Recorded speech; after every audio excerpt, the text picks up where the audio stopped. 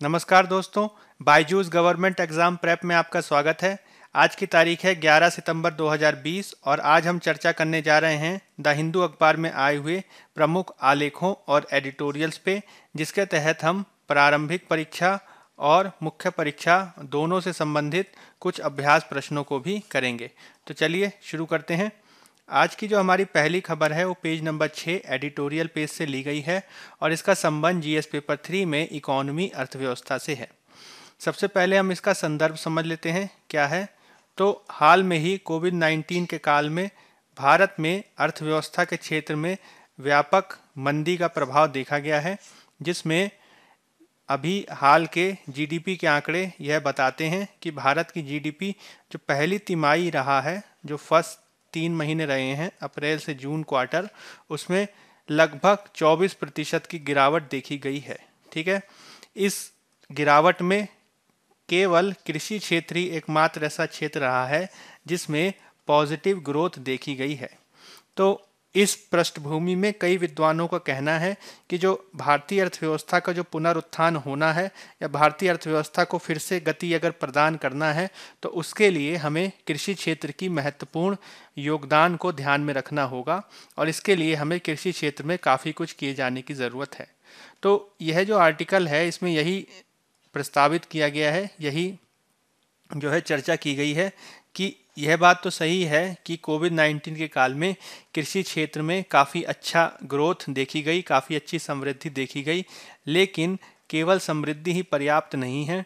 अगर अर्थव्यवस्था के क्षेत्र में कृषि क्षेत्र को महत्वपूर्ण भूमिका देनी है तो ऐसी बहुत सारी और भी चुनौतियाँ हैं, ऐसी बहुत सारी और भी सुधार हैं जिनको किए जाने की ज़रूरत है।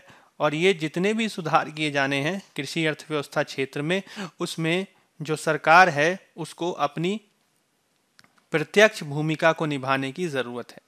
ठीक है? तो मूल रूप से ये कृषि क्षेत्र और उसमें होने वाले कुछ सुधारों के बारे में बात करता है और इसमें जो है, कई सारे आंकड़े वगैरह भी दिए गए हैं, जिसको आप अपने एग्ज़ाम में, मेंस में प्रयोग कर सकते हैं। ठीक है? तो चलिए शुरू करते हैं। संदर्भ मैंने आपको बता दिया कि कोविड 19 की पृष्ठभूमि में आर्थिक समृद्धि दर, जो भारत की इकोनॉमिक ग्रोथ है और जो भारत की जीडीपी है, वो काफ़ी गिरी है और मंदी देखी गई है, ठीक है? जिसमें माइनस चौबीस परसेंट ग्रोथ देखी गई है। इसमें जो कृषि क्षेत्र है उसको पॉजिटिव ग्रोथ के चलते ये कहा जा रहा है कि वो आर्थिक पुनरुत्थान करेगा। भारत में जो है इकोनॉमिक रिवाइवल में एक महत्वपूर्ण भूमिका निभाई जाएगी कृषि क्षेत्र के द्वारा। लेकिन लेखक का मत यह है कि जो कृषि क्षेत्र है, उसमें बहुत सारी ऐसी कमियाँ हैं जिसे दूर करने की ज़रूरत है। ठीक है? सबसे पहले तो इसमें उन तर्कों के बारे में बात कही गई है कि ऐसे कौन कौन से तर्क हैं जिसके आधार पर ये कहा जा रहा है कि कृषि क्षेत्र, आर्थिक क्षेत्र में समृद्धि के लिए काफ़ी महत्वपूर्ण है और कोविड 19 में भी इसने काफ़ी ग्रोथ की। तो ऐसे कौन कौन से तर्क हैं, ऐसे कौन कौन से आंकड़े हैं जो इस संदर्भ में दिए गए हैं, सबसे पहले उन्हीं को हम देख लेते हैं। तो सबसे पहले तो ये कहा गया कि 2019-20 के काल में भारत में जो खुल खाद्यान्न उत्पादन हुआ है, यानी जो फ़ूड ग्रेन का जो प्रोडक्शन हुआ है, वो 2018-19 की तुलना में, यानी पिछले साल की तुलना में इसमें लगभग चार प्रतिशत की ग्रोथ देखी गई है। पहली बात तो ये, यानी गेहूँ, चावल और जो खाद्यान्न है, वो पिछले साल की तुलना में ज़्यादा पैदा हुए हैं। दूसरी बात क्या है कि भारत में 2020-21 में जो रबी की फ़सल बुआई गई, ठीक है, जो रबी की फ़सल बोई गई, जो दिसंबर के महीने में जाड़ों में बोई जाती है, और इसमें जो गेहूँ का जो सरकारी अधिग्रहण हुआ है, यानी गेहूँ को जो खरीदा गया है, गेहूँ की जो खरीद हुई है, वो पिछले साल की तुलना में बारह दशमलव छः प्रतिशत ज़्यादा हुई है, ठीक है? तो पहली बात तो ये हुई कि खाद्यान्न जो हमें वो हमने अधिक उगाया और दूसरी बात ये हुई कि जो रबी की फ़सल का जो गेहूँ है, उसकी खरीद काफ़ी हुई है। बारह दशमलव छः प्रतिशत, लगभग तेरह प्रतिशत की जो है, खरीद अधिक हुई है। ठीक? ये दोनों जो आंकड़े हैं, वो इस बात को बताते हैं कि कृषि क्षेत्र में जो लचीलता है, ठीक है? कृषि क्षेत्र में जो रेजिलियंस है, वो काफ़ी अच्छा देखने को आ रहा है, बावजूद इसके कि कोविड 19 का दौर था। इसके अलावा 2020-21 के काल में जो फ़ूड ग्रेन को लेकर जो मुद्रा स्फीति है, जो खाद्यान्न की जो महँगाई है, वो 2020-21 की पहले जो तीन महीने हैं, यानी अप्रैल से लेकर जून के इन तीन महीनों में जो खाद्यान्न मुद्रा स्फीति है, वो पिछले साल की तुलना में लगभग नौ दशमलव दो प्रतिशत अधिक है। ठीक है? अब जो खाद्यान्न मुद्रा स्फीति है, वो अगर ज़्यादा होगी तो ये माना जा रहा है, ये लोग मान रहे हैं कि मुद्रा स्फीति इसलिए ज़्यादा हो रही है क्योंकि खाद्यान्न जो है, खाद्यान्न उत्पादन जो है, उनकी लगातार मांग बढ़ रही है और जब मांग बढ़ेगी तो यानी कृषि क्षेत्र का जो व्यापार है, वो बढ़ेगा। इसका मतलब इस आंकड़े के आधार पर कई विद्वान ये तर्क दे रहे हैं कि लगातार बढ़ती मांग से व्यापार बढ़ रहा है, जिसका किसानों को लाभ मिल रहा है। ठीक है? इसका मतलब क्या हुआ कि एक तो उत्पादन अधिक हो रहा है, वहीं दूसरी ओर मांग भी बढ़ रही है, यानी आपूर्ति पक्ष और मांग पक्ष दोनों ही अच्छे देखने को मिल रहे हैं। ठीक? इसके अलावा 2020-21 में 2019-20 की तुलना में जो खरीद की फ़सल की जो बुआई है, ठीक है, जो मानसून के काल में की जाती है, ठीक? मानसून के काल में जो खरीफ की फ़सल की जो बुआई की गई है, वो 14 प्रतिशत अधिक की गई है। जिसके चलते क्योंकि ज़्यादा फ़सल उगाई गई तो उस फ़सल को उगाने के लिए ज़्यादा ट्रैक्टरों की मांग हुई है, ज़्यादा ट्रैक्टर खरीदे गए हैं और जो उसमें फर्टिलाइज़र वगैरह यूज़ होता है, वो भी ज़्यादा खरीदा गया है, ठीक है? ये दोनों की दोनों जो आंकड़े हैं, ये बताते हैं कि जो कृषि क्षेत्र की जो आर्थिक गतिविधि है, वो लगातार बनी रही। लॉकडाउन के काल में भी, क्योंकि ये पूरा जो काल है वो लॉकडाउन का काल रहा है, इसके बावजूद जो है कृषि क्षेत्र में खरीफ की फ़सल की बुआई काफ़ी अच्छी हुई है, ठीक है? इसके अलावा भारत सरकार द्वारा कोविड 19 से जनित मंदी से निपटने के लिए आत्मनिर्भर भारत पहल के तहत एक पैकेज दिया गया 20 लाख करोड़ का तो उससे भी ये कहा जा रहा है कि इससे कृषि क्षेत्र का और विकास होगा। तो ये कुछ ऐसे आंकड़े हैं जिसके आधार पर ये कहा जाता है कि अर्थव्यवस्था में कृषि क्षेत्र का कोविड 19 के पृष्ठभूमि में काफ़ी महत्वपूर्ण योगदान रहा है और ये काफ़ी सकारात्मक है। ठीक है? लेकिन इसकी जो आलोचना है वो कई पक्षों के आधार पर की गई है, जिसको समझने की ज़रूरत है। ठीक? तो पहली आलोचना तो वो इस आधार पर करते हैं कि 2020-21 में जो हमने जाड़े की फ़सल उगाई, यानी जो रवि की फ़सल जो हमने खरीदी, ठीक है? रबी की फ़सल का जो अधिक अधिग्रहण हुआ तो यह ज़रूरी नहीं है कि उसका लाभ सभी को मिला हो, ठीक? यानी ज़्यादा खरीद हुई, ज़्यादा सरकारी खरीद हुई, बावजूद इसके जो है आंकड़े बताते हैं कि धान के किसानों को लगभग 14 परसेंट और गेहूँ के किसानों को लगभग 16 परसेंट ही एमएसपी का लाभ मिला है। ठीक है? एमएसपी क्या होता है? तो एमएसपी यानी जिसे न्यूनतम समर्थन मूल्य कहा जाता है। तो न्यूनतम समर्थन मूल्य, वह मूल्य है जो सरकार द्वारा प्रत्येक कृषि सीज़न के पहले, ठीक है? प्रत्येक कृषि सीज़न के पहले सरकार द्वारा घोषित न्यूनतम मूल्य किया जाता है, जिसमें किसी भी फ़सल के संदर्भ में, जैसे कि गेहूँ हो गया या चावल हो गया इसके संदर्भ में जो है, एक सरकारी मूल्य की घोषणा की जाती है और सरकार इस मूल्य घोषणा को कह के यह यह सुनिश्चित करती है कि मान लीजिए अगर गेहूँ को एक कुंटल यह घोषणा किया गया एमएसपी कि उसको एक हज़ार रुपये में ख़रीदा जाएगा मिनिमम तो इसका मतलब क्या हुआ कि आप एक हज़ार से कम में जो है एश्योर नहीं हो सकते हैं। इसका मतलब क्या हुआ कि आप चाहें तो सरकार को एक हज़ार रुपये में इसको बेच सकते हैं और इससे कम में आप नहीं बेच पाएँगे, इससे कम में जो है आपको घाटा नहीं होगा। तो इसका मतलब क्या हुआ कि सरकार ये चाहती है कि एमएसपी के संदर्भ में एमएसपी को घोषित करके कोई भी किसान अपनी फ़सल को कम दाम पे बेचने के लिए मजबूर ना हो जाए। लेकिन आंकड़े ये बताते हैं कि जो एमएसपी का जो लाभ है, वो सभी लोगों को नहीं मिलता है। केवल 14 प्रतिशत, साढ़े साढ़े तेरह प्रतिशत धान के किसान और मात्र 16 प्रतिशत गेहूँ के किसानों को ही एमएसपी का लाभ हुआ है। और ज़्यादातर जो अन्य किसान हैं, वो अपनी फ़सल जो है, वो एमएसपी से कम दरों पर बेचने को मजबूर हुए हैं। ठीक है? अब ऐसा क्यों हुआ? तो ऐसा इसलिए हुआ है क्योंकि जो लॉकडाउन का जो काल था, उसमें जो आवागमन के जो साधन थे, वो काफ़ी सीमित हो गए थे।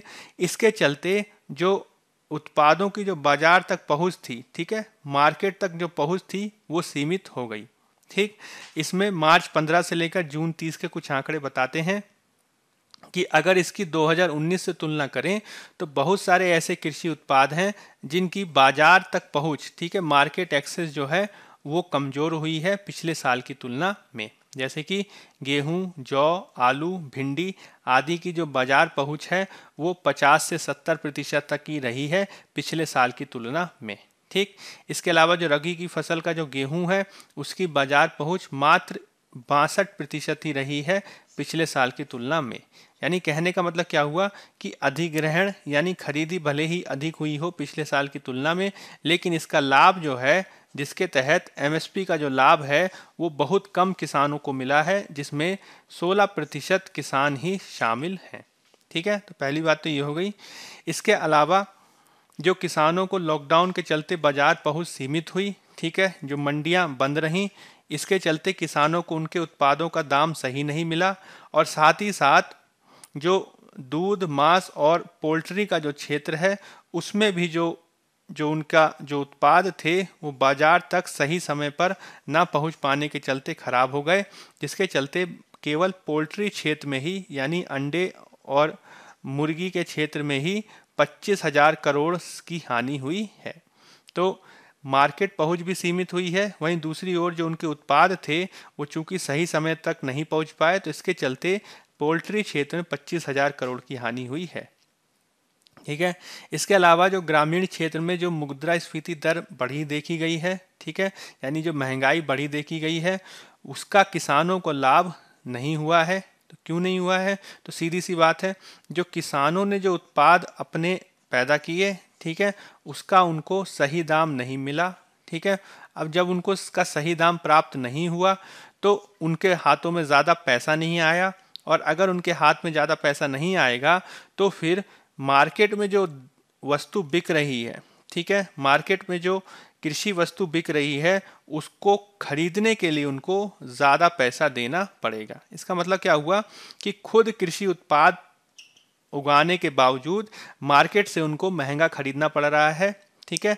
इसको आंकड़ों से भी हम देख सकते हैं। जैसे कि मार्च 15 से मार्च जून 30 के 2020 के काल में, इन तीन महीनों के लॉकडाउन के काल में, जो अधिकांश फ़सलों के जो दाम थे, वो लगातार कम होते रहे और इसका कारण सबसे बड़ा ये रहा कि उनकी बाज़ार तक बहुत सीमित थी। जैसे कि गेहूँ और धान के दाम जो हैं, वो मार्च 23 में 23 मार्च को धान के दाम प्रति कुंटल लगभग 1730 थे, लेकिन जून तक आते आते वो सोलह हो गए। ठीक है? यानी लगभग जो है पचास रुपए की इसमें गिरावट देखी गई, जबकि इसके दाम बढ़ने चाहिए थे। ठीक? तो इससे हुआ क्या कि ज़्यादा जब उनको, किसानों को अपने उत्पादों का दाम नहीं मिला तो किसानों की जो आय है वो नकारात्मक रूप से प्रभावित हुई। ठीक? और इसकी तुलना में खाद्यान्नों के दाम अधिक होने के चलते किसानों को खाद्यान्नों पे ही अधिक खर्च करना पड़ा है। तो कहने का मतलब ये हुआ कि भले ही किसानों ने अपने उत्पादों को उगाया हो, भले ही उत्पादों को जो है उन्होंने अच्छे रूप में तैयार किया हो, लेकिन जब उनको फ़ायदे की बात आती है तो उसका उसका तो किसानों को उनका पूर्ण लाभ नहीं प्राप्त हुआ है, जिसके चलते काफ़ी नकारात्मक स्थिति देखने को मिलती है। ठीक, इसके अलावा 2020 की अवधि में खरीफ की फ़सल की बुआई निश्चित रूप से अधिक हुई है, जिसका एक प्रमुख कारक ये है कि लॉकडाउन के चलते जो प्रवासी हैं वो अपने गाँव में वापस आए हैं। ठीक centre for monitoring Indian economy के आंकड़े भी ये बताते हैं कि वर्तमान काल में, यानी जून और जुलाई के काल में, पिछले साल की तुलना में जो खुद को कैसान कहलाने वाले व्यक्ति थे, ठीक है, जिन्होंने अपना ऑक्यूपेशन किसानी बताया, वो पिछले साल की तुलना में ज़्यादा थे, ठीक है। लेकिन साथ ही साथ, चूँकि लॉकडाउन का काल चल रहा था तो बड़ी मात्रा में लोगों के जो रोज़गार हैं, वो भी ख़त्म हुए हैं और इसके चलते ग्रामीण बेरोजगारी दर बहुत तीव्रता से बढ़ी है। जैसे कि अप्रैल 2020 में ये 22 प्रतिशत तक देखी गई और मई में ये 21 प्रतिशत तक देखी गई। तो इसका मतलब क्या हुआ कि अधिग्रहण बहुत होने के बावजूद उनको लाभ नहीं हुआ और साथ ही साथ बेरोजगारी के चलते भी उनको काफ़ी दिक्कतें हुई हैं। ठीक? इसके अलावा लेखक का ये तर्क है कि कृषि क्षेत्र का जो भारत की जीडीपी में योगदान है, वो लगभग पंद्रह प्रतिशत ही है। और अगर इस स्थिति में अगर चार प्रतिशत ग्रोथ भी होगी, एग्रीकल्चर की चार प्रतिशत ग्रोथ भी होगी तो इसके बावजूद जो जीडीपी में जो योगदान है, समृद्धि दर में, वो मात्र ज़ीरो दशमलव छः प्रतिशत तक ही रहेगा। ठीक है? और यदि हमें एक प्रतिशत की ग्रोथ तक पहुँचना है तो उसमें कम से कम कृषि क्षेत्र में हमें छः परसेंट ग्रोथ करनी पड़ेगी, जो अभी भी नहीं देखी गई है। ठीक? इसके अलावा ट्रैक्टर और फर्टिलाइज़र की खरीद अधिक होने से निश्चित रूप से हम ये कह सकते हैं कि हाँ किसान जो है थोड़े समृद्ध हुए हैं, लेकिन अगर किसानों को उनके उत्पाद के दाम सही नहीं मिलेंगे, अगर उनकी बाज़ार पहुँच सीमित रहेगी, और अगर लगातार बेरोजगारी बढ़ती रहेगी तो जितने भी लाभ प्राप्त हुए हैं पहले के, वो सभी लाभ जो हैं सीमित होते जाएँगे, ठीक है? इसके अलावा लेखक आत्मनिर्भर भारत पैकेज के बारे में बात करते हैं और वो ये कहते हैं कि आत्मनिर्भर भारत पैकेज में भी किसानों को इसका प्रत्यक्ष लाभ नहीं हुआ है और जितने भी पैकेज में जो घोषणाएँ की गई हैं, वो प्रत्यक्ष लाभ संबंधी जो घोषणाएँ हैं, वो मात्र पाँच हज़ार करोड़ तक ही सीमित हैं। ठीक है? तो 20 लाख करोड़ के पैकेज में कृषि को प्रत्यक्ष जो लाभ हुआ है, वो मात्र पाँच हज़ार करोड़ का ही है और बाकी जितनी भी घोषणाएँ घोषित की गई हैं, वो पहले से ही चल रही हैं, ठीक है? जिसके लिए अलग से कोई बजटीय प्रावधान नहीं किया गया। जो पहले से जो प्रावधान था, वो जो है, उसमें शामिल कर लिया गया, जिसके चलते प्रत्यक्ष जो योगदान होना चाहिए कृषि क्षेत्र को, वो नहीं हुआ है। ठीक है? तो ये कुछ ऐसी कमियाँ हैं जिनको दूर करने की ज़रूरत है और इसके लिए कुछ उपाय हैं जिनको उपाय अपनाया जा सकता है। जैसे कि भारत सरकार द्वारा जो पीएम किसान योजना, प्रधानमंत्री किसान सम्मान निधि योजना जो घोषित की गई है और इसके तहत जो वर्तमान में छः हज़ार रुपये की सहायता, वार्षिक सहायता दी जाती है, उसको बढ़ाकर कम से कम बारह हज़ार रुपये किए जाने की ज़रूरत है। इसके अलावा भारत सरकार द्वारा जो ये घोषणा की गई है कि एमएसपी को उसके कृषि उत्पाद की लागत का, कृषि उत्पादन लागत का डेढ़ गुना किया जाएगा, ठीक है? यानी 150 प्रतिशत किया जाएगा। उसको जो है सभी उत्पादों पे लागू करने की ज़रूरत है, ठीक है? वर्तमान में एमएसपी जो है, वो सभी फ़सलों पे नहीं दी जाती है। इसके चलते सरकार की घोषणा के बावजूद जो है, इसका लाभ सबको नहीं मिल पाता है। ठीक? इसके अलावा जो किसान के ऋण के भुगतान पर जो मोराटोरियम या छूट जो लागू की गई है, उसके संदर्भ में सरकार द्वारा ये कहा जा सकता है कि 2020 और 19 की तुलना में जो ऋण लिए गए हैं, उसमें ब्याज जो है वो माफ़ किया जा सकता है। ठीक है? मूलधन भले ही माफ़ ना किया जाए, लेकिन ब्याज को माफ़ किया जा सकता है। ठीक? इसके अलावा लेखक का ये मुख्य रूप से तर्क है कि हमें प्रत्यक्ष सहायता को दिए जाने की ज़रूरत है। अभी तक की जितनी भी घोषणाएँ हुई हैं, वो अप्रत्यक्ष घोषणाएँ हुई हैं, जिसमें सरकार की जो भूमिका है, वो सक्रिय रूप से ना दिखाई दे के निष्क्रिय रूप से दिखाई दी है। तो लेखक का ये तर्क है कि कृषि क्षेत्र का अगर पुनरुत्थान करना है तो सरकार को वित्तीय सहायता और निवेश जो है, प्रत्यक्ष आधार पर करना चाहिए, जिससे कृषि क्षेत्र में सकारात्मक परिणाम हो सके। इसमें न केवल पशुपालन क्षेत्र में, कृषि क्षेत्र में, पोल्ट्री क्षेत्र में प्रत्यक्ष सहायता पैकेजों की आवश्यकता है, वहीं साथ ही साथ छोटे छोटे जो दुग्ध उत्पादक हैं या फिर जो मार्जिनल फार्मर्स हैं, सीमांत कृषक हैं, उनको भी सहायता दिए जाने की ज़रूरत है। इससे न केवल जो डिमांड है वो क्रिएट होगी, बल्कि जो उत्पाद हैं उनका मूल्य भी अच्छा मिलेगा और जो जीडीपी रेट है, चाहे वो ओवरऑल जीडीपी रेट हो या एग्रीकल्चरल जीडीपी रेट हो, दोनों के दोनों जो हैं सकारात्मक रूप से आगे बढ़ेंगे, ठीक है? तो बहुत सारी ऐसी चीज़ें हैं जो कोविड 19 के पृष्ठभूमि में विशेषकर कृषि क्षेत्र में किए जाने की आवश्यकता है, ठीक? चलिए, अब दूसरा आर्टिकल देख लेते हैं। हमारा जो दूसरा आर्टिकल है, वो भी पेज नंबर छः से लिया गया है और इसका संबंध जीएस पेपर टू में पॉलिटी और आईआर से है। ठीक है? इसको हम कुछ हद तक सोसाइटी से भी जोड़ के देख सकते हैं और हम जोग्राफी से भी इसको जोड़ के देख सकते हैं, जो जीएस पेपर वन का हिस्सा है। ठीक? क्यों? क्योंकि इसका संबंध जो है वो जनसंख्या वृद्धि दर से है और जनसंख्या वृद्धि दर का सीधा संबंध सोसाइटी से और जोग्राफी से होता है। ठीक है? इसमें चाइना की वन एक एक बच्चा नीति, वन चाइल्ड पॉलिसी की चर्चा की गई है, जिसको 1979 में चीन के नेता डेंग जियाओपिंग द्वारा शुरू किया गया था, ठीक है?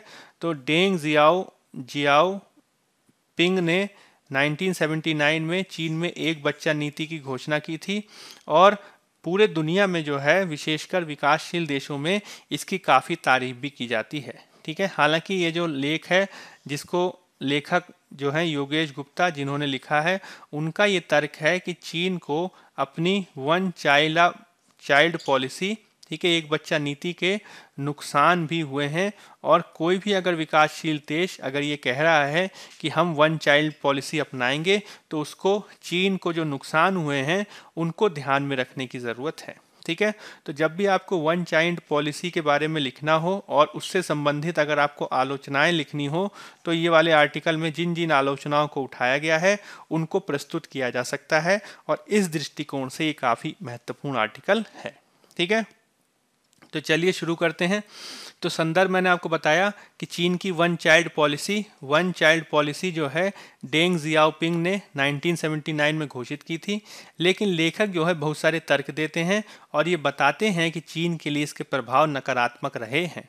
जैसे कि चीन की जो औसत जन्म दर है, ठीक है, वो घट के वर्तमान में 2017 में घट के 1.6 जन्म प्रति महिला हो गई है। और गैर आधिकारिक आंकड़ों के अनुसार तो ये एक दशमलव ज़ीरो पाँच तक गिर गई है। ठीक?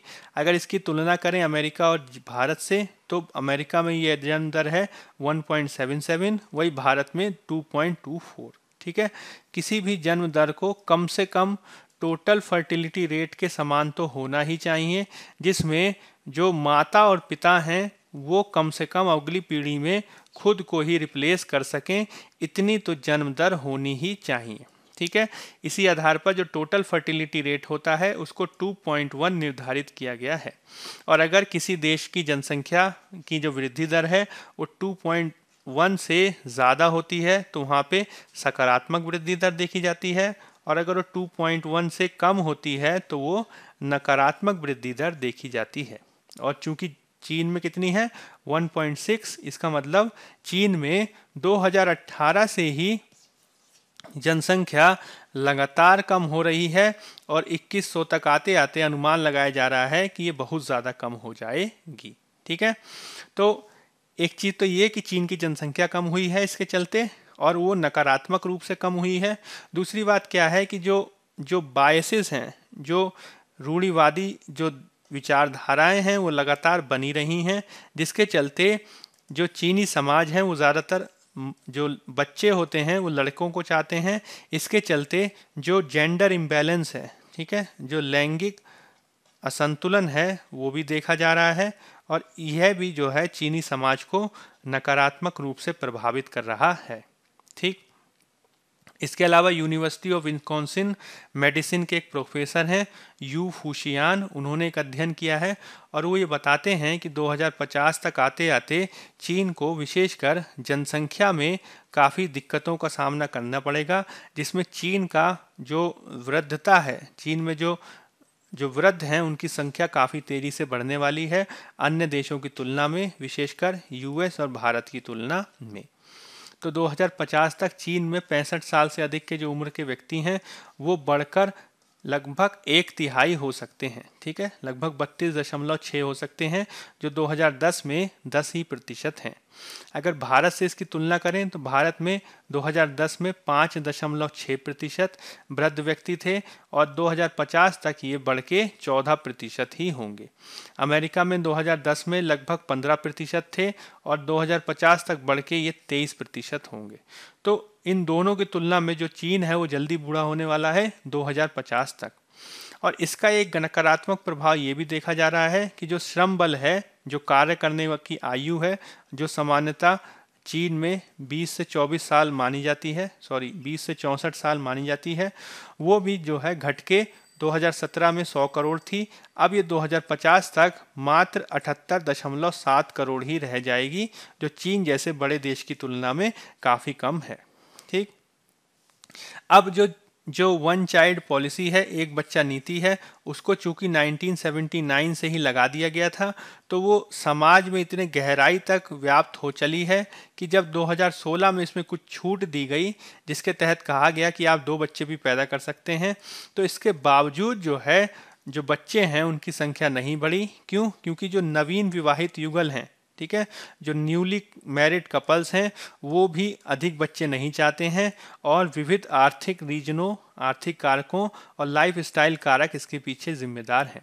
तो इसका मतलब क्या हुआ कि 1979 में जो आप नीति घोषित कर दिए, वो 2016 तक इतनी ज़्यादा प्रभावी हो चुकी है कि अब अगर आप चाहते हैं कि इसको जो है थोड़े छूट भी दे दें, तब भी लोग तैयार नहीं हैं बच्चे पैदा करने के लिए। ठीक? इसके चलते हुआ क्या है कि 2018 से ही चीन में जनसंख्या लगातार कम हो रही है। हालाँकि जो आधिकारिक आंकड़े हैं, वो इसको छुपा रहे हैं, ऐसा लेखक का कहना है। ठीक? और अगर यही जो है प्रवृत्ति जारी रही, जिसमें जनसंख्या प्रजनन दर अगर 1.2 तक स्थिर हो गई तो 2050 तक चीन की जो जनसंख्या है, वो वर्तमान की जनसंख्या से घट के 100 करोड़ तक पहुँच जाएगी और 2100 तक ये 48 करोड़ तक जा सकती है। यानी वर्तमान में जो चीन की जो जनसंख्या है, वो 2050 तक बहुत तेज़ी से गिर सकती है। ठीक? अब इसके प्रभाव क्या क्या होंगे? तो भाई सबसे बेहतर प्रभाव तो सबसे बड़ा प्रभाव तो यही होगा कि 2050 तक अगर लगभग एक तिहाई जनसंख्या जो है वो वृद्ध हो जाएगी। तो वृद्ध जनसंख्या की अधिकता की स्थिति में जो स्वास्थ्य पे किया जाने वाला खर्च है, जो सोशल सिक्योरिटी पे किया जाने वाला खर्च है, और जो पेंशन सुविधाओं पे जो किए जाने वाला खर्च है, वो बहुत ज़्यादा हो जाएगा।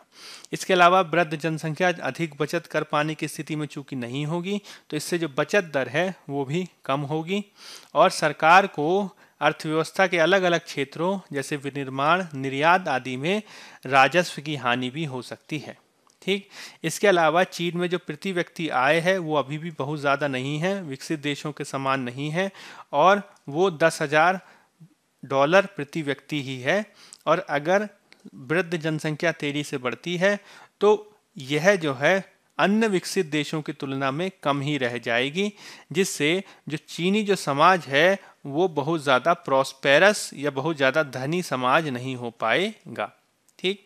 इसके अलावा अगर अगर जो है जवान व्यक्ति नहीं रहेंगे तो सैन्य बलों में भर्ती भी न्यून हो जाएगी और जनसंख्या भी कम होती रहेगी। ठीक? अब देखिए इसमें होता क्या है कि जैसे विकसित देश हैं, विकसित देशों में मुख्य रूप से जो यूरोपियन राष्ट्र हैं, जो पश्चिमी यूरोपीय देश हैं, उन पश्चिमी यूरोपीय देशों में भी जो जनसंख्या वृद्धि दर है, वो 2.1 यानी टोटल फर्टिलिटी रेट से कम है। तो इसको वो काउंटर बैलेंस करने के लिए करते क्या हैं? तो अपनी वो उत्पादकता को बढ़ाने का प्रयास करते हैं। उत्पादकता बढ़ाने का मतलब क्या हुआ? कि प्रति घंटे में, एक घंटे में जितना काम किया जा रहा है ठीक है? एक घंटे में जितना काम किया जा रहा है और उसमें जितना उत्पादन हो रहा है, उस उत्पादन को अगर बढ़ा दिया जाए तो इससे क्या होगा कि कम व्यक्ति काम करेंगे। इसके बावजूद जो है, उनकी जो प्रोडक्टिविटी है, जो उनका उत्पादन है, वो अधिक होगा। तो विकसित देश क्या करते हैं? अपने देशों में घटती जनसंख्या से निपटने के लिए जो टोटल फैक्टर प्रोडक्टिविटी है, ठीक है? टी एफ़ पी से कहा जाता है। टोटल फैक्टर प्रोडक्टिविटी इसको बढ़ाने की कोशिश करते हैं। इसका मतलब क्या हुआ कि एक घंटे में किसी वस्तु को बनाने में आप जो लागत लगा रहे हैं, इसकी तुलना में जो आपका आउटपुट रेशियो होगा, वो आपका बहुत ज़्यादा होगा। इसके चलते आप भले ही कम लोग काम करें तो कम लोग के काम करने के बावजूद जो आपका आउटपुट होगा, यानी आपका जो उत्पादन की तुलना में, जो जो उत्पादन लागत की तुलना में जो अंतिम उत्पाद बनेगा वो ज़्यादा होगा। ठीक है? तो यह जो काम है, ये चीन में काफ़ी लंबे समय से चल रहा है और चीन में इसमें काफ़ी प्रगति भी की है। जैसे कि 1980 से बाहर चीन में जो टीएफपी है, वो पाँच प्रतिशत की दर से बढ़ रहा है। 1995 में ये और बढ़ा, हालाँकि वर्तमान में ये कम होता जा रहा है। ठीक? इसी के चलते लेखक ये तर्क देते हैं कि अगर अगर चीन को अपनी टीएफपी यानी उत्पादकता बढ़ानी है तो बहुत सारे सुधार किए जाने की ज़रूरत है। जैसे कि संसाधन विकास और कौशल, साथ ही साथ गवर्नेंस सुधारों और बाज़ार सुधारों को भी ज़रूरत है। ठीक? लेकिन 2008 के बाद से ही चीन ने किया क्या है? तो प्रशासनिक क्षेत्र में अपने सुधारों को बढ़ावा देने के बजाय, चीन में उदारीकरण को, के बजाय लाल फीताशाही और भ्रष्टाचार बढ़ रहा है। ठीक, साथ ही साथ चीन ने विकास के मॉडल में कई जो नए हित समूह हैं, उनको भी शामिल नहीं किया है, जैसे कि उद्योगपति एमएसएमईज प्रोफेशनल मीडियाकर्मी आदि। और चूँकि अधिकांश जो चीन की जो जनसंख्या है, जिसमें लगभग 40 प्रतिशत जो जनसंख्या है, वो गाँव में रहती है, इसलिए बहुत आवश्यक है कि जब तक गाँव का विकास नहीं होगा या गाँव की तुलना में जो शहरों में जो विकास होगा वो समावेशी नहीं होगा, तब तक चीन में जो वन चाइल्ड चाइल्ड पॉलिसी के जो डिजास्टरस इफ़ेक्ट हैं, वो कम नहीं हो पाएँगे। यही कारण है कि लेखक ये तर्क देते हैं कि चीन में पूर्ण नियंत्रण के स्थान पर प्रशासनिक और नौकरशाही सुधारों की ज़रूरत है, जिसमें जो कम्युनिस्ट पार्टी का जो अर्थव्यवस्था पर नियंत्रण है, उसको रोकने की ज़रूरत है। इसके अलावा जो नवीन तकनीकों को अपनाया जा रहा है 5G हो गया या आर्टिफिशियल इंटेलिजेंस हो गया या बिग डेटा एनालिटिक्स हो गया, ठीक है? ये जितनी भी नई तकनीकें हैं, उसमें अर्थव्यवस्था गवर्नेंस शिक्षा संबंधी सुधार भी करने होंगे, क्योंकि केवल तकनीक से देश के जो विकास है, वो पूर्ण समावेशी नहीं बन पाएगा। ठीक है? तो आने वाले समय में चीन जो है विदेशी क्षेत्र में बहुत चुनौतियों का सामना करने वाला है। इस संदर्भ में चीन के आर्थिक विकास को अगर बढ़ावा देना है तो और अधिक प्रयास करने की ज़रूरत है। ठीक है? तो इसमें आपको मुख्य रूप से वन चाइल्ड पॉलिसी, एक बच्चा नीति के बारे में आपको ज्ञान होना चाहिए, जिसके पॉइंट्स का आप प्रयोग कर सकते हैं भारत के समाज के संदर्भ में भी, क्योंकि भारत में भी जनसंख्या वृद्धि दर को न्यून करने के लिए वन चाइल्ड पॉलिसी को अपनाने की बात कई विद्वान करते हैं। ठीक? चलिए अब अगला आर्टिकल देख लेते हैं। अगला जो हमारा आर्टिकल है, वो पेज नंबर छः से लिया गया है और इसका संबंध जीएस पेपर टू में पॉलिटी से है। तो इसका संबंध किससे है? तो इसका संदर्भ हम बता देते हैं। तो संदर्भ यह है कि जून के माह में एक इंडियन सेलिब्रिटी सुशांत सिंह राजपूत की आत्महत्या के बाद भारतीय क्षेत्र में काफ़ी राजनीति देखी गई है और बहुत सारे ऐसे समाज के मुद्दे सामने आए हैं जिसको इस आत्महत्या की पृष्ठभूमि में देखे जाने की ज़रूरत है। ठीक है? तो इस आत्महत्या के संदर्भ में कौन कौन से ऐसे मुद्दे हैं? इसको थोड़ा देख लेते हैं। ठीक तो हुआ क्या कि 14 जून को सुदान सिंह राजपूत द्वारा, सुशांत सिंह राजपूत द्वारा आत्महत्या किए जाने के बाद भारतीय समाज के बहुत सारे ऐसे अवगुण हैं जो अब सामने आए हैं पिछले दो से तीन महीनों में। जैसे कि स्त्री को लेकर द्वेष, मिसो, मिसोजनी जिसे कहते हैं, निजता का सम्मान ना किया जाना, ज़बरदस्ती पीछा किया जाना, पितृ सत्तात्मकता, महिलाओं को लेकर नकारात्मक दृष्टिकोण आदि। ठीक, इसमें हुआ क्या कि सुशांत सिंह राजपूत को लेकर पूरी इन्वेस्टिगेशन की गई और उनकी जितनी भी महिला मित्र थीं, उन पर भांति भांति के आरोप लगाए गए।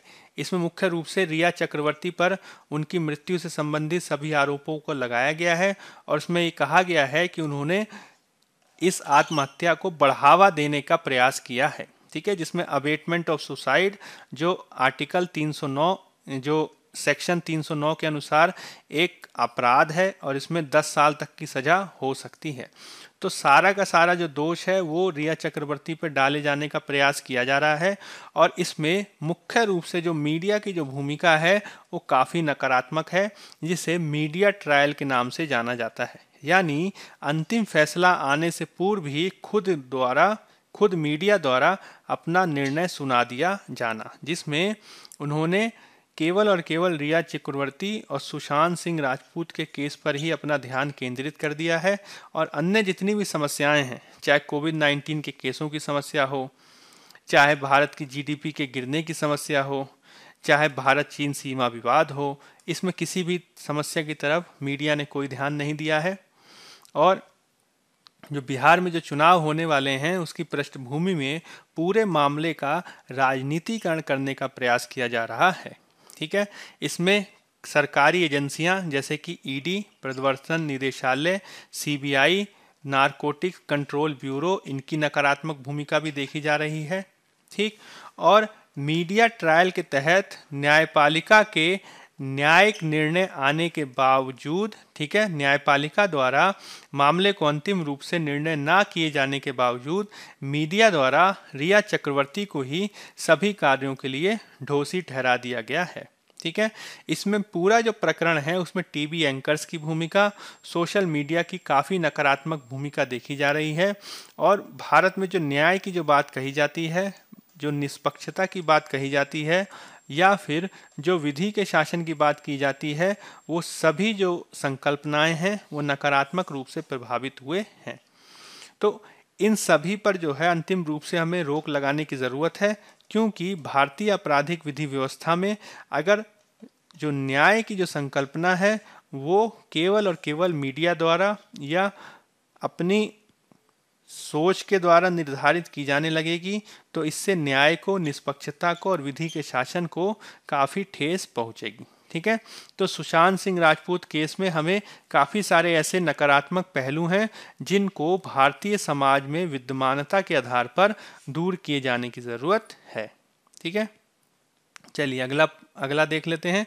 अगले के जो हमारे समाचार है, वो पेज नंबर एक से लिया गया है और इसका संबंध जीएस पेपर टू में आईआर से है। ठीक है? तो इसका संदर्भ क्या हम देख लेते हैं। तो भारत चीन सीमा विवाद, जो अप्रैल माह से ही लगातार चर्चा का विषय बने हुए हैं, उसमें अभी हाल में ही 28 और 29 अगस्त को जो पेंगोंग सो पेंगोंग सो लेक क्षेत्र में जो विवाद देखा गया, उसकी पृष्ठभूमि में अभी कुछ समय पहले रक्षा मंत्री की वार्ता हुई थी, भारत और चीन रक्षा मंत्री की वार्ता हुई थी, और अब जो कल को जो है विदेश मंत्री आपस में मिले हैं, ताकि जो पूरा जो सीमा विवाद है, उसको शांतिपूर्ण समझाया जा सके। तो हुआ क्या है? तो भारत चीन सीमा विवाद में जो विदेश मंत्री एस जयशंकर हैं और चीन के जो विदेश मंत्री हैं, उन पे पाँच बिंदुओं पे सहमति बनी है, जिसके आधार पर वो शांति व्यवस्था को स्थापित करने के प्रयास करने वाले हैं। जैसे कि पाँच बिंदुओं के तहत पहली चीज़ तो यह है कि भारत और चीन जो भी तनाव की बात होगी, उसमें सहमति के आधार पर निर्णय लेंगे और इसमें राजनीतिक स्तर की सहमति भी ली जाएगी। यानी तनाव को ज़्यादा ना बढ़े, ठीक है? असहमतियाँ तनाव का रूप ना लें, इसको बेहतर करने के प्रयास किया जाएगा राजनीतिक स्तर पर। इसके अलावा जो मौजूद, मौजूदा जो तनाव की स्थिति है, उसमें सेनाओं द्वारा बातचीत जारी रखने की बात कही गई है और इसमें जल्द ही जल्द जो डिसंगेजमेंट प्रोसेस जो चल रही है, यानी तनाव की शांति के लिए जो प्रयास किया जा रहा है, उसको जो है आगे भी जारी रखे जाने की बात कही जा रही है। ठीक है? इसमें दोनों को एक दूसरे से दूरी बनाए रखने और तनाव कम करने की बात कही गई है, ताकि जो सीमा पे जो शांति और सौहार्द है, वो बन सके। और इसके लिए ज़रूरी है कि जितने भी समझौते हुए हैं, जितने भी प्रोटोकॉल्स वगैरह भारत और चीन के मध्य हुए हैं, उसको पालन किया जाए और तनाव को बढ़ाने को लेकर कोई कार्रवाई ना की जाए। इसमें मुख्य रूप से दोनों पक्षों द्वारा सीमा विवाद को सुलाने, सुलझाने के लिए जो विशेष प्रतिनिधि की वार्ता और विशेष प्रतिनिधियों का जो मैकेनिज़्म को विकसित किया गया है, उसको जो है महत्वपूर्ण रूप से काम करने की ज़रूरत है, ताकि कंसल्टेशन और कोऑर्डिनेशन के द्वारा काम किया जा सके। ठीक? इसमें जैसे जैसे तनाव कम होने वाला है वैसे वैसे शांति बनाने और आपस में भरोसा बढ़ाए रखने के लिए कदम उठाए जाने की बात भी कही गई है। तो मुख्य रूप से इसमें कोशिश ये की जा रही है कि जितने भी तनाव की स्थिति देखी गई है, उसको निवारण किया जा सके। ठीक है?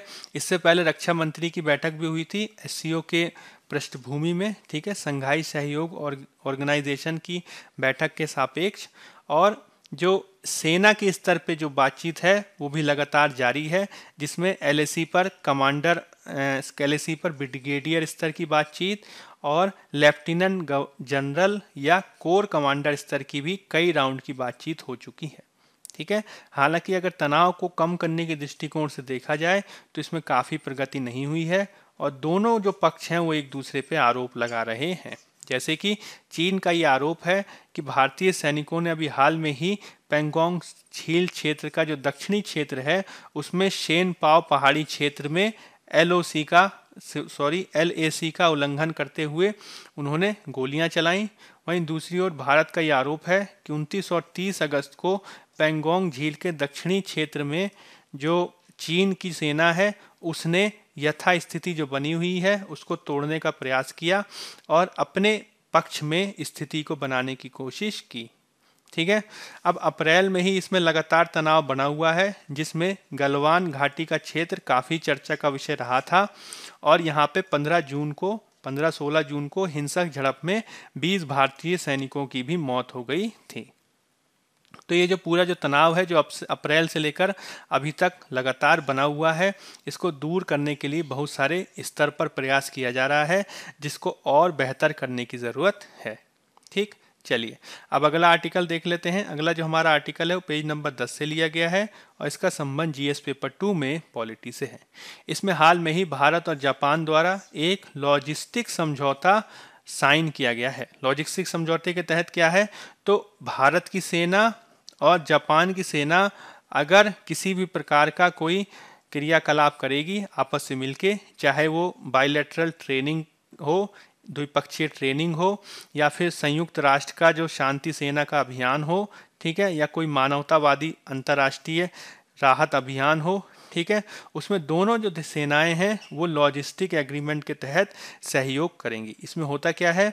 तो अगर मान लीजिए जापान की सेना को किसी प्रकार के रुकने की ज़रूरत है, किसी प्रकार के विमान आदि में ईंधन को भरवाने की ज़रूरत है, या किसी प्रकार को जो है ठहराव आदि की ज़रूरत है एक स्थान से दूसरे स्थान पर जाने के लिए तो उसके लिए भारत द्वारा सहायता की जाएगी। और इसी प्रकार से अगर भारत की सेना को भी इस संबंध में कोई सहयोग और समझौते की ज़रूरत होगी तो उसमें जापान द्वारा इसे प्रोवाइड किया जाएगा। ठीक है? इसको कहा गया है reciprocal provision supplies and services ठीक है?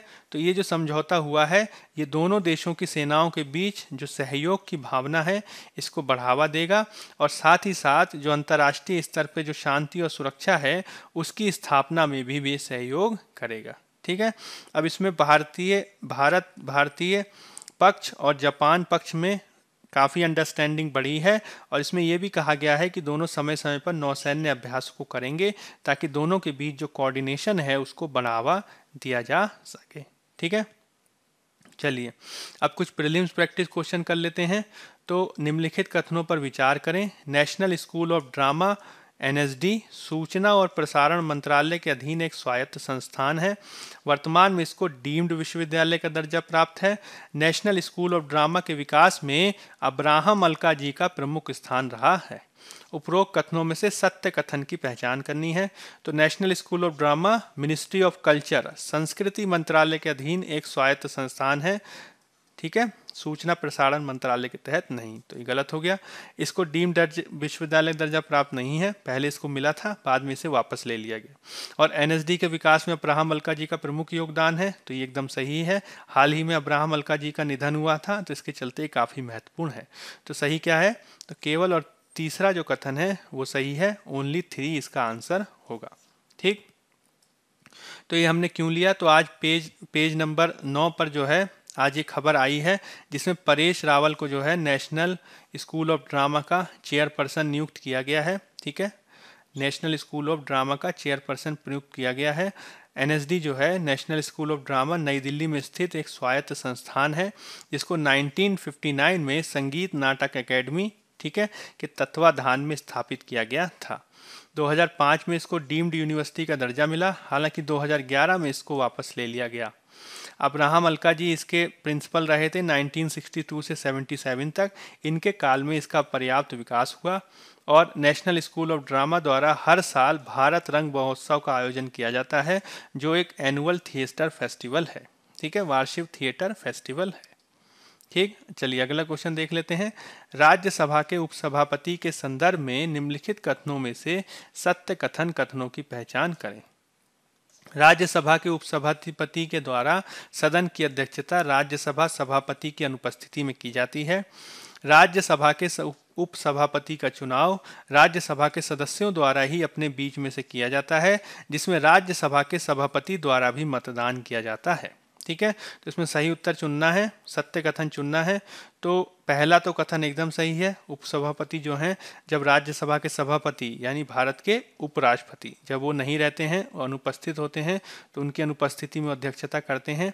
हालाँकि जो इनका जो चुनाव होता है, उसमें राष्ट्रपति वो सॉरी, उपराष्ट्रपति जो है, उनकी कोई भूमिका नहीं होती है, ठीक है, प्रारंभ में। और जो संसद सदस्य हैं, जो राज्यसभा के सदस्य हैं, वही जो है वोटिंग के द्वारा इनका चुनाव करते हैं। ठीक है? तो इसमें उत्तर क्या हो जाएगा? तो दूसरा गलत है, केवल एक, यानी ए इसका आंसर हो जाएगा। ठीक है? तो आज ये पेज नंबर नौ पे खबर आई है, जिसमें राज्यसभा की उपसभापति का चुनाव होने वाला है। ठीक है? और इसमें एनडीए और यूपीए दोनों ने अपने पदाधिकारियों को खड़ा किया है। तो राज्यसभा के उपसभापति जो हैं, वो संयुक्त बैठक की अध्यक्षता भी करते हैं। कब? जब लोकसभा अध्यक्ष और उपाध्यक्ष अनुपस्थित हों और अगर राज्यसभा के उपसभापति भी अनुपस्थित रहें तो संसद के जो सदस्य होते हैं, वो अपने बीस से एक व्यक्ति का चुनाव करते हैं, जो अध्यक्षता करता है। ठीक? अगला क्वेश्चन देख लेते हैं। पुन, पुन्नाप्रा वायलार विद्रोह के संदर्भ में निम्नलिखित कथनों में से असत्य कथन की पहचान करनी है। असत्य कथन देखना है, आप ध्यान रखिएगा। पुन्नापरा वायलार विद्रोह असहयोग आंदोलन के दौरान व्यापक रूप से केरल क्षेत्र में देखा गया। सी पी रामास्वामी अय्यर इसके प्रमुख नेता थे, ठीक? तो असत्य कथन कौन सा है? तो पहला भी गलत है और दूसरा भी गलत है, ठीक है? एक और दो दोनों सी आंसर होगा। पुन्नापरा वायलार सत्याग्रह 1946 ठीक है? 1946-47 के दौरान केरल क्षेत्र में देखा गया और केरल क्षेत्र में एक रियासत थी त्रावनकोर त्रावनकोर रियासत में देखा गया और ये मुख्य रूप से कम्युनिस्ट आंदोलन था और कम्युनिस्ट आंदोलन के दौरान हुआ क्या? तो तो जो ट्रावनकोर रियासत के जो दीवान थे, ठीक है, पीएम कह सकते हैं prime minister CP Ramaswami Iyer, उन्होंने जो है ये घोषित किया कि हम जो है भारत के साथ नहीं मिलेंगे और हम केरल को एक स्वतंत्र रूप में, या कह सकते हैं ट्रावन कोर को जो है, स्वतंत्र रूप में विकसित करेंगे और यहाँ पे यूएस के मॉडल के आधार पर हम इसका विकास करेंगे। तो इसके प्रत्युत्तर में जो है, केरल के कम्युनिस्टों द्वारा ट्रावनकोर रियासत को भारत से जोड़े जाने के लिए आंदोलन किया था, जिसका नाम था पुनप्रा वायलार विद्रोह। ठीक है? तो अभी हाल में ही ये खबर आई है, जिसमें केरल में सीपीआईएम ने यह आरोप लगाया है ठीक है? यह आरोप लगाया है कि पुनापरा वायलार सत्याग्रह में कम्युनिस्टों की सकारात्मक भूमिका को को बदनाम करने का प्रयास किया जा रहा है और कम्युनिस्टों द्वारा भारतीय स्वतंत्रता संग्राम में काफ़ी सकारात्मक भूमिका भी निभाई गई है, जिसको ध्यान में रखे जाने की ज़रूरत है। ठीक है? तो ये चीज़ आपको ध्यान में रखनी है। मुख्य रूप से ये केरल में हुआ है, जो काफ़ी इम्पोर्टेंट है। ठीक तो 1946-47 में हुआ था ये, और ट्रावनकोर के महाराजा दीवान के विरुद्ध इसको देखा गया था, कम्युनिस्टों का विद्रोह। ठीक, चलिए, अगला क्वेश्चन देख लेते हैं। शरावती वन्य जीव अभ्यारण्य के संदर्भ में निम्नलिखित कथनों पर विचार करें। शरावती वन्य जीव अभ्यारण्य केरल का एक प्रमुख अभ्यारण्य है। यह संकट संकटग्रस्त शेर पूंछ वाले वानर मकाक के लिए प्रसिद्ध है। शरावती नदी इसके पास अवस्थित है, जो कावेरी नदी की प्रमुख सहायक नदी है। तो सत्य कथन बताने हैं।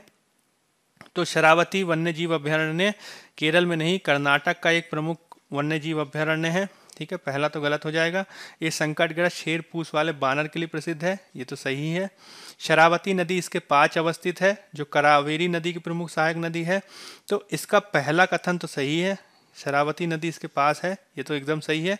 लेकिन ये कावेरी नदी की प्रमुख सहायक नहीं है, ठीक है? ये पश्चिमी घाट की एक प्रमुख नदी है, वेस्टर्न घाट्स की एक प्रमुख नदी है, जो पूर्ण रूप से कर्नाटक में बहती है, ठीक है? और एक बेहद फ़ेमस फॉल है, एक बेहद फ़ेमस झरना है, जोग झरना, वो जो है शरावती नदी पर ही अवस्थित है। ठीक है? तो केवल जो है, दूसरा कथन इसका सही है और इसका आंसर हो जाएगा बी। तो आज पेज नंबर आठ पे खबर आई है, जिसमें हाई कोर्ट में जो है एक याचिका दायर की गई है, जिसके तहत शरावती वैली, शरावती घाटी लॉयन टेल्ड मैक सेंचुरी में एक जो है underground underground hydroelectric power project के संबंध में जो है कार्य किया जाना है और इसी के विरोध में जो है याचिका दायर की गई है कि इससे जो है वहाँ को हानि पहुँचा सकती है, वहाँ पे जो है पर्यावरण की हानि हो सकती है।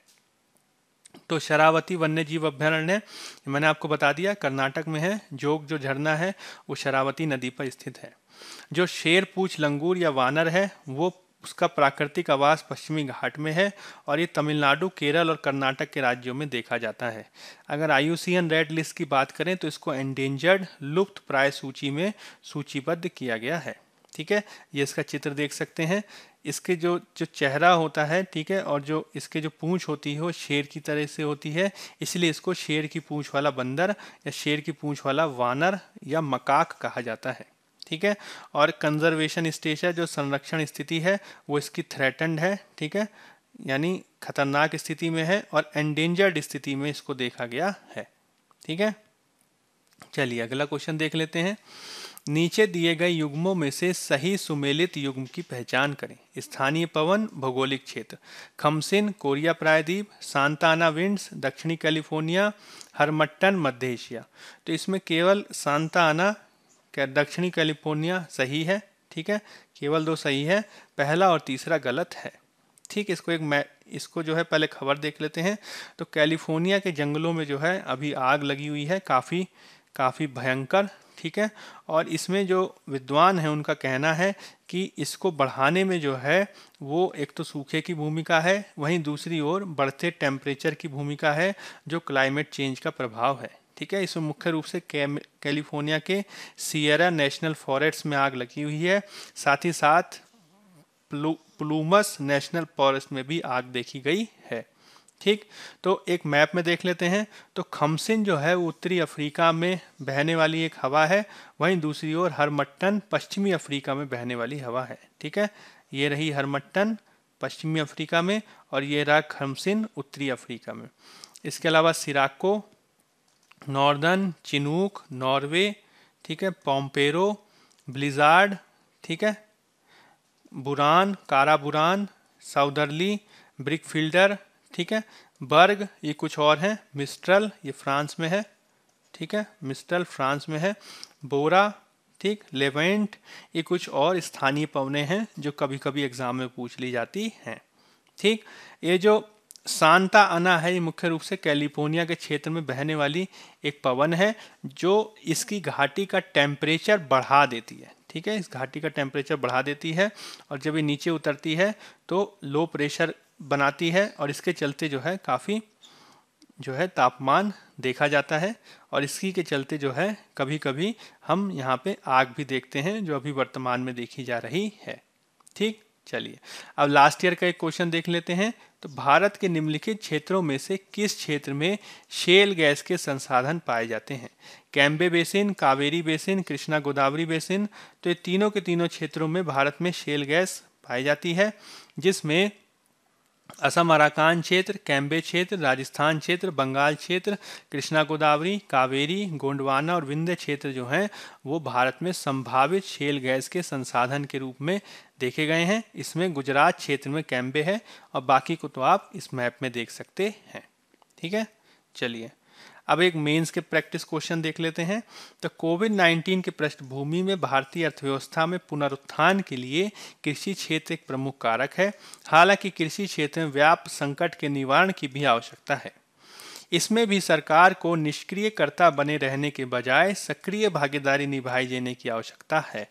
कृषि क्षेत्र में हालिया घटनाक्रमों के संदर्भ में आलोचनात्मक समीक्षा करें। 250 शब्द 15 अंक। वैश्विक स्तर पर चीन की एक बच्चा नीति वन चाइल्ड पॉलिसी की प्रशंसा अनेक विकासशील राष्ट्रों द्वारा की जाती है। भारत द्वारा भी इसे अपनाए जाने के पक्ष में समर्थन दिया जाता रहा है। हालाँकि अनेक साक्ष्य ये भी बताते हैं कि एक बच्चा नीति से चीन को नुकसान भी अधिक हुआ है। चीन की एक बच्चा नीति के संदर्भ में उपयुक्त तर्कों के साथ चर्चा करें। 250 शब्द 15 अंक। तो जो दोनों के दोनों जो हमने एडिटोरियल डिस्कस किए हैं, उसके सारे पॉइंट्स को आप इन दोनों उत्तरों में लिख सकते हैं। ठीक है? चलिए। तो बाईजूस गवर्नमेंट एग्ज़ाम प्रेप के जो हमारा जो वीडियो लगातार चल रहा है, उसको आप अगर पसंद कर रहे हैं तो आप लाइक करें, शेयर करें और सब्सक्राइब करें। साथ ही साथ आज का वीडियो देखने के लिए आपका धन्यवाद। तो चलिए, अब अगली क्लास में मिलते हैं। तब तक के लिए बने रहिए। बाईजूस गवर्नमेंट एग्ज़ाम प्रेप पर। धन्यवाद।